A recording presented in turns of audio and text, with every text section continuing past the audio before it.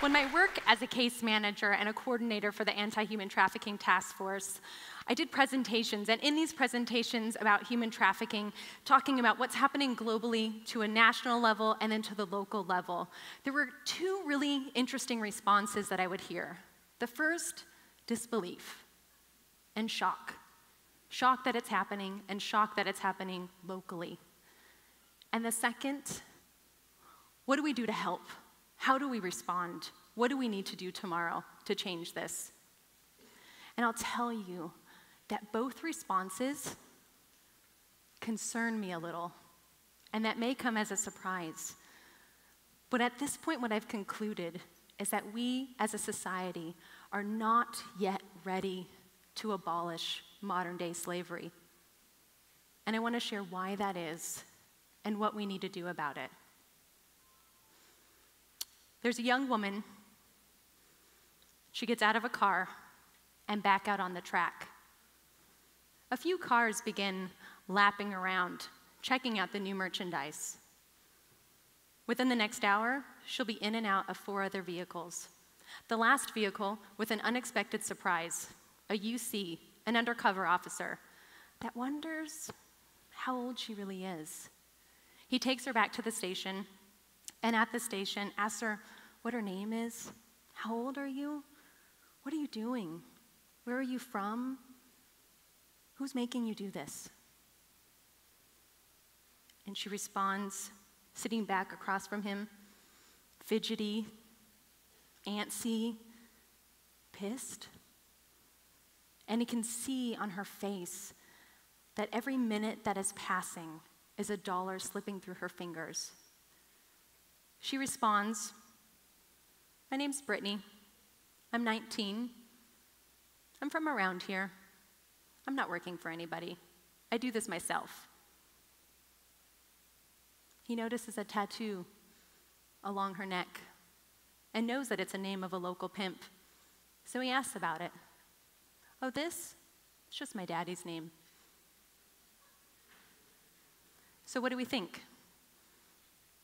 Is Brittany a victim or a criminal? On the other side of town, there's a garment factory that is employing men and women from Thailand. This garment factory is surrounded by barbed wire, has around the clock armed guards, and the employees work 18 hour day shifts seven days a week. They're all here illegally. Are they victims? Are they criminals? It may come to a surprise to us that it wasn't until the year 2000 that we actually had laws about modern day slavery. And we know them now as the Trafficking Victims Protection Act. They were giving laws and language and definitions so that law enforcement could investigate crimes of trafficking and prosecutors to bring justice upon traffickers. And it was that sad and haunting reality that we needed to put teeth back into our 13th Amendment that we are not a nation of slavery, but yet somehow slavery has rebirthed itself and we're needing new tools in order to combat it. And yet, despite these laws, what I have learned in this field is that it is extremely difficult to determine crimes of trafficking and the victims of trafficking.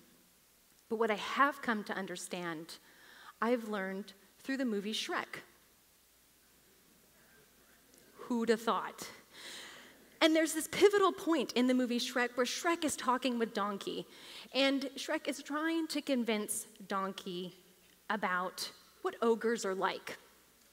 And Shrek says, Ogres are like onions, they have lots of layers.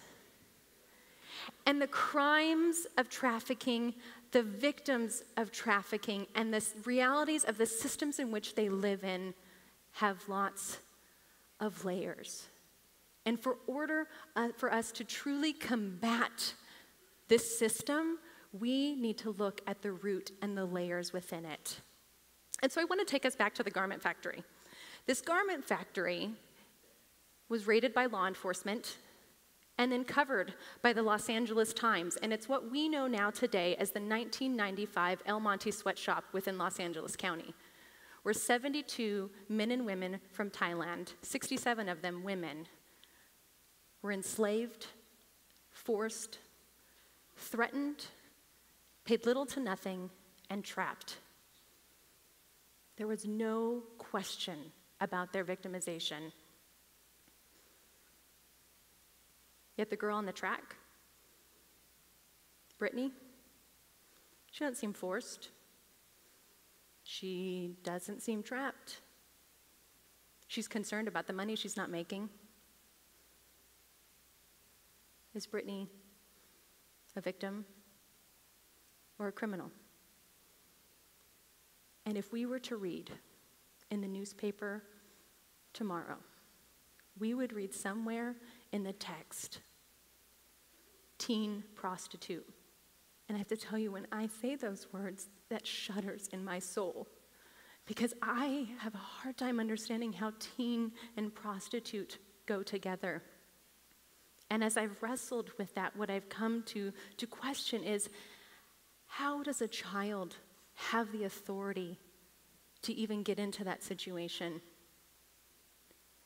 And does a child have the cognitive ability to make such a decision?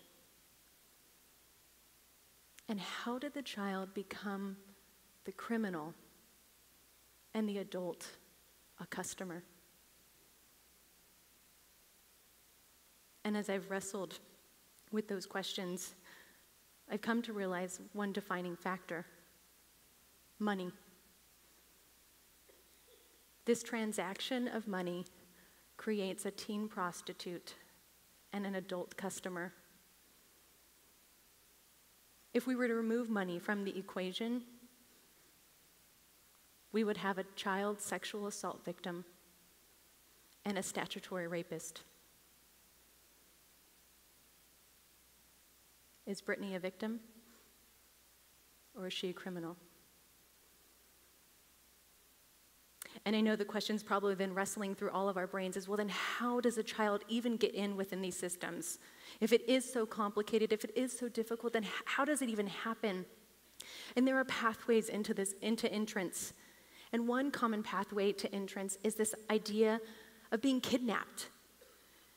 And it's what we've heard probably more likely when the media covers human trafficking and covers crimes against children is this idea of being kidnapped. And not because kidnapping has this shock value, but because, let's be honest, it just makes a little bit more sense that you were kidnapped and then you were forced as a sex slave. It doesn't make it right, but it makes it make more sense to our psyche. But I will tell you that the common, more honest, and more pr- prone to pathway is slow grooming, slow coercion, and it happens earlier on. And the closest analogy that I can kind of come to represent is this idea of cooking the frog in the kettle. And I've never cooked a frog in a kettle, but if those of you were to Google it today, you would find directions and even YouTube videos of how to cook a frog in the kettle. So I looked at one and I realized that you couldn't you don't throw a frog into boiling water. We all know why. Instinctively that frog knows to jump out. You put a frog into room temperature and you gradually turn up the heat the frog accepts every degree of heat, accepts every degree of warmth. That is the slow grooming, slow coercion of children like Brittany. That it started at a much earlier age. And Brittany, let's go back to five years old. Brittany comes home from school with her siblings, and dad is home. And everybody flees for safety because when dad is home, it is violent. He is abusive, he's aggressive, and mom usually takes the brunt of it all. And if she doesn't, they'll be hit, they'll be beat at some point. But what Brittany is now linking together, seeing her parents, is love and abuse are tied hand in hand. And what her family doesn't realize is happening is that uncle has been visiting during this time. And while uncle's been visiting, he's been sexually abusing Brittany. And so Brittany, at the big age of five, has a big decision. Does she share or does she keep it to herself? And let's say in this scenario, Brittany shares.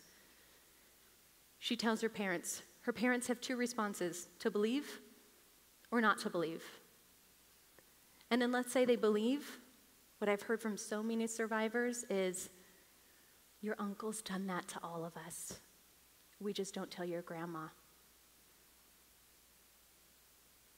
But either way, the damage is done. Brittany, we cannot escape what's happened, we cannot rewind. And we have a child that now links love, sex, and abuse hand in hand. Do you feel the kettle in her pot turning up a little bit? And yet, at the age of 11, she gets to a point where I'm done. And she knows that she has two decisions. I'm either going to stay and I'm going to stay with this violence and this situation and the thoughts of my uncle, or I'm going to go. And I'm going to go over there because I'm going to make my dreams happen. I'm going to be something, and it's going to be better than what's here. And you and I are both now processing and saying, no, Brittany has a lot of other decisions besides two.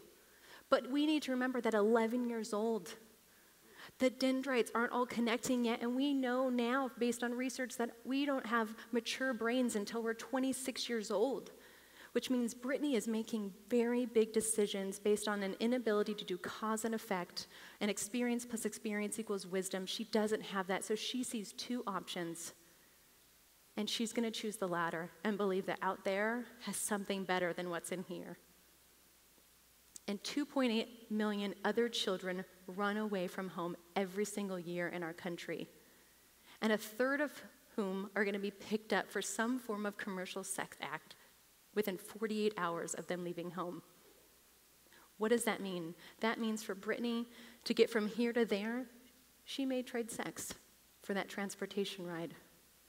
Survival, trade sex for food, a bed night stay. That kettle's getting pretty warm. And then she'll meet a group of people, and maybe those people will introduce her to him, or maybe she'll just meet him and He will rock her world because He will ask her all the questions she's been dying to be asked. The simple ones How are you? How are you doing? What do you dream about? And for the first time, do you know what Brittany's thinking to herself? Somebody's listening to me. And why he's listening? He's taking her out to eat. She's dining at places she's never seen or dreamed of. He's buying her designer clothes, getting her hair done. And do you know what Brittany feels like for the first time? A princess. And she finally feels special and feels noticed. And yet, what she can't see, because she's 11, is that when the honeymoon is over, she won't realize that from this point forward, she will constantly be lying about her age she will have changed her name as many times as she's changed cities. And mind you, we change cities a lot because that messes up jurisdictionally for law enforcement, for prosecution cases. And when you move a child from city to city to city, who do they know? Who will they trust? They will continue to trust him. She doesn't know that her family will be threatened and her life will be threatened. She doesn't know that she will be raped repeatedly. She doesn't know that she will be beaten for not bringing in enough money. You see why she's stressed at the police station? She doesn't know that she will get an STD or two or three. And she doesn't know that she will be arrested again and again and again. And that's where I met Brittany. I was at the police station, and Brittany was only 13. So was Brittany a victim or a criminal? And there are 200,000 Brittany's, American youth, at risk of being commercially sexually exploited every year. So, what do we do? We have a penal justice system that, designed at its very best, sees black and white. We have a child that will become an adult who has been broken down in life, who has been beaten down systematically. And we have to wonder what is life for them? What we can do is we can choose to not buy in to the media's black and white. And I'm not saying that the media is bad. They give us information in sound bites. And so the simplest thing to cover a story about Brittany is what? Label her a teen prostitute. But we see that damage in those two words and that language that it's creating and convoluting. And even in that labeling, if we can battle our inner self to not objectify. When we objectify the woman on the corner, when we objectify the homeless person on the street, when we objectify the woman dropping her child off at school with bruises along her, and when we objectify the child that's truant without unpacking their onion, without seeing the layers that hold, we can continue to say teen prostitute then. But what we can choose to do, which will give hope to Brittany, is to fight against that urge to objectify and to see that there are layers amongst all of these faces that pass us every day. And when we begin to do that, we begin to give hope to the Brittanys. And I want to thank you for traveling on this journey in quest of what is justice and finding hope. Thank you.